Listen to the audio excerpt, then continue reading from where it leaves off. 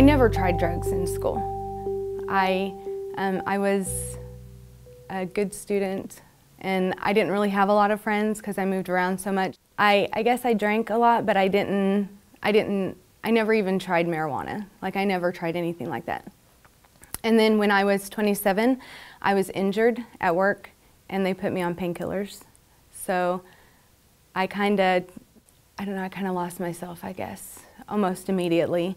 I started um, taking more than prescribed and then I started um, doctor shopping. And uh, people at work said that if I snorted it, it'd work better, last longer, and then it was just a short jump to shooting it.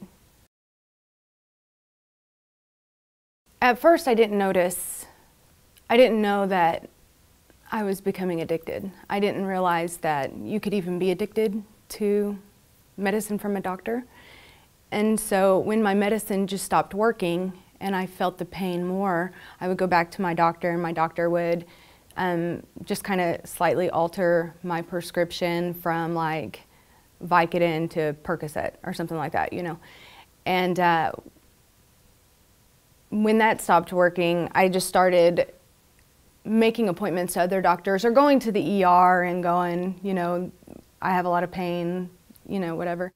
I don't guess I realized when when it completely consumed me, but it got to the point where I had actually been blacklisted from every hospital within a 100 mile radius because I would drive quite a bit. When I started actually buying pills on the streets, that's when it consumed me the most. You know, I would revolve everything around my drug dealers. So I would call in late to work or I would arrange my drug dealer around going to the grocery store or whatever.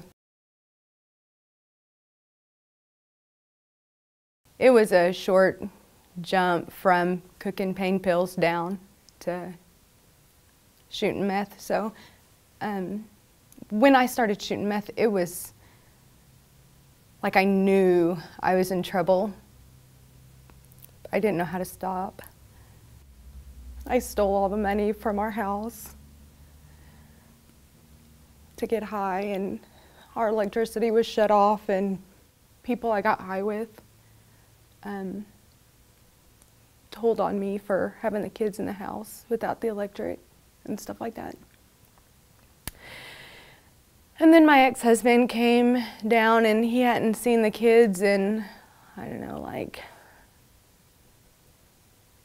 seven years, but he found out that I was high, and so he um, got an attorney to have the kids removed from my care.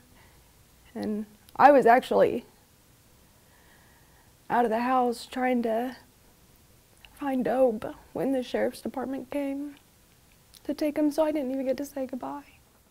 When he told me that the sheriff's department came and took them and granted my ex-husband to take them to New York, I was so mad at my husband for for not stopping them. So I I was really high and I I picked up a toy box and threw it at his face, like one of the big ones, you know. And he he just put my daughter in his stroller and walked away. My husband had me served with a restraining order two days later and I didn't have anywhere to go. I, I found out the day after my kids were taken that I had three felony warrants that had been put out for my arrest. So within that week I had lost my home and my husband and my kids. And I had warrants out for my arrest it was a lot. And so I, I tried to kill myself because I just didn't think I could come back up from there. But I, I failed. I wasn't good at it. and so after a little while on the street, like I think a week or so, two weeks maybe, I, I had this phone that I stole from a drug dealer friend. and I hooked up to Wi Fi and I messaged a pastor from a church that I used to go to before I got high. He, he ended up coming and getting me, him and another guy from our church, from my old church, and they took me they took me to eat and like they put me in a hotel room but not like a local motel where you know you have to worry about a lot of drug activity. It was actually a christian owned hotel. And so my pastor ended up calling the prosecuting attorney and saying doesn't matter what program she's in? And he said no. And the, my pastor said can it be faith-based? And he was like yes. So my pastor got me into a faith-based 12-step program. And i did 12 weeks.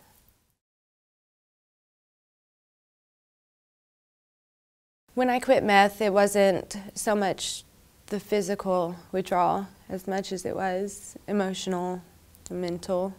In the middle of the night when your mind is going to a thousand different dark places and your skin is crawling, it's it was it was hard. It was hard to not pick up the phone and call people who knew, who understood. But those were the same people who were probably going to be trying to give me drugs, you know, so yeah, it was hard. The process of being where I am was, I think, excruciating is the best word. Nobody, like nobody believed that I was clean, that I was staying clean, you know, and that I was dedicated. It took a long time. Today I'm actually 42 months clean. It's that's I, I just happened to cross that this morning, but I don't I would consider myself just fully recovered, it doesn't cross my mind anymore, you know, like I